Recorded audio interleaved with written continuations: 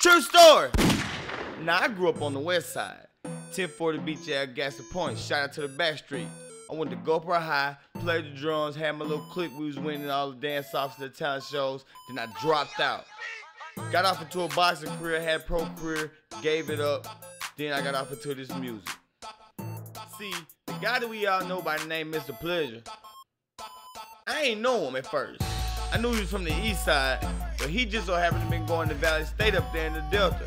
And there was these guys called the Swag Stars, Full House Entertainment. Shout out to them. They had this little movement called Mo'head Swagg going. So some kind of way he got linked up with them. I'm not too sure about that, but of course he was coming, still coming home from time to time. So you know what I'm saying. Eventually in the club, the movement started. Alright, it was this time I was in the way. I was way out on the east side, you know what I'm saying? When I go out here, I play my part, you know what I'm saying? I don't be out there doing too much because I know that ain't my side. I ain't trying to fight nobody or nothing. But I'm watching the Pleasure Boys get wide open. And that's when it hit me, man. I mean, I knew Mo'head Swagg when I seen it, but I kept seeing Rondell do this move. My bad, Mr. Pleasure. I kept seeing him do this move and I couldn't explain it. Now, I know a lot of y'all done heard of the camel walk. I want to give a shout to everybody who's following the whole Back Burner 228 movement. You know what I'm saying? We got like 16,500 views single-handedly, you know what I'm saying? And it was big, but you know what I'm saying? That was on our end. We didn't know nothing about the Pleasure Boys on the other end of our city pushing this movement they done started.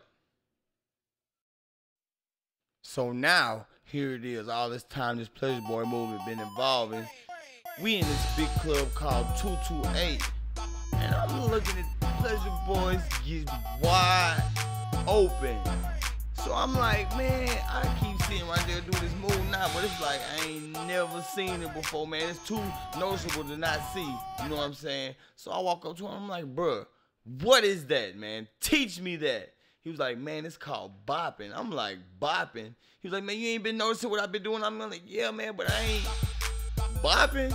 He was like, man, go look up some level music or some some jigging music, man. That's what you bop to. So I got to find out. I started brainstorming. I said, bro, is it a song on YouTube I can look up called Bop? He was like, no, you just know what songs to bop to. So me being smart, I'm a producer. I went home and made a sick beat with a drum. I put a fire hook on a crazy beat. I don't even think I wrote the verses, and there it was. I had me a song called Bop.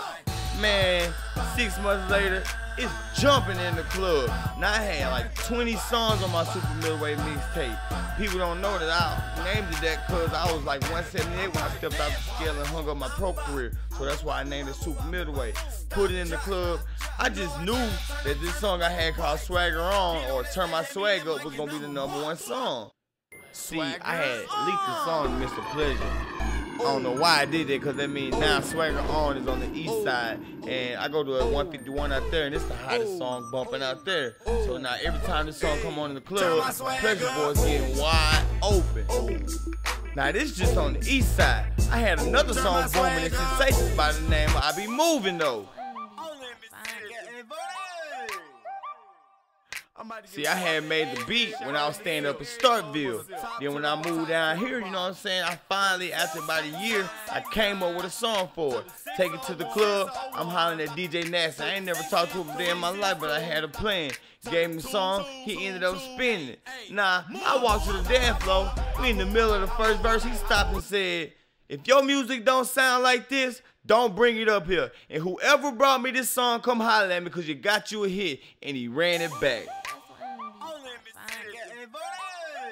So I done put Swagger on and I be moving on with a couple of other club bangers on this CD. You know what I'm saying? To put it in the city. I flooded the city.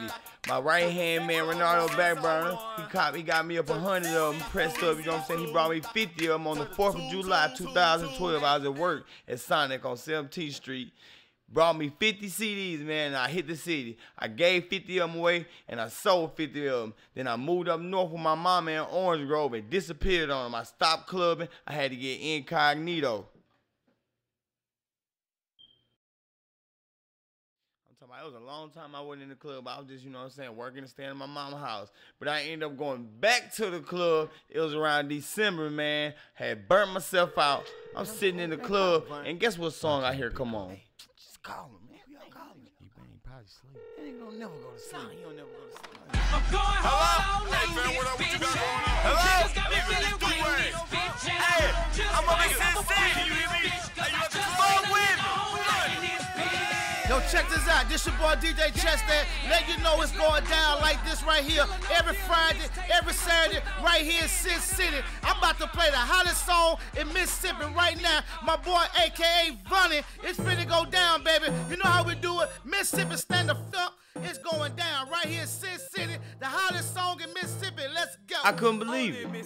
I could not believe that the song that I put the least amount of effort into is the hottest song on the coast.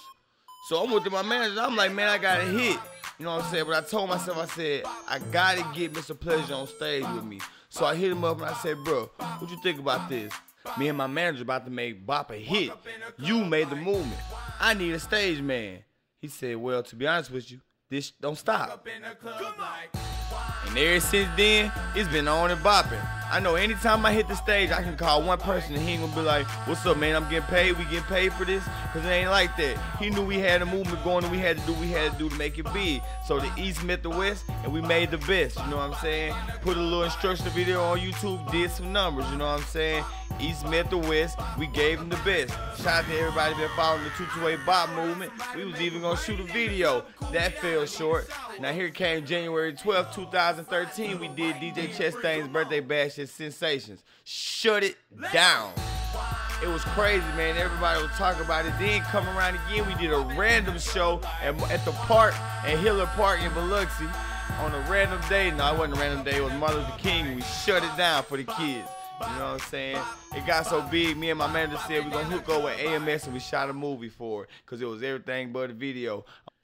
I want to give a big shout out to everybody who came to support the Bop video because it was open to the public. As for those who didn't come, no worries because we represented 228 accordingly. And I want y'all to know we done did all we could do to get this city jumping out here. Now it's time to take this show on the road. So I got my girl Keezy Key and I got my boy Mr. Pleasure. We about to get ready to go put this Bop movement on the map. Shout out to the 228. Shout out to Mississippi. Shout out to everybody effing with me. I feel like the 228 and I got an opportunity to do something we didn't used to have to do. So anybody who had something to do with this movement and your name wasn't mentioned, you already know you played your role, so it shouldn't have to be talked about. Blah!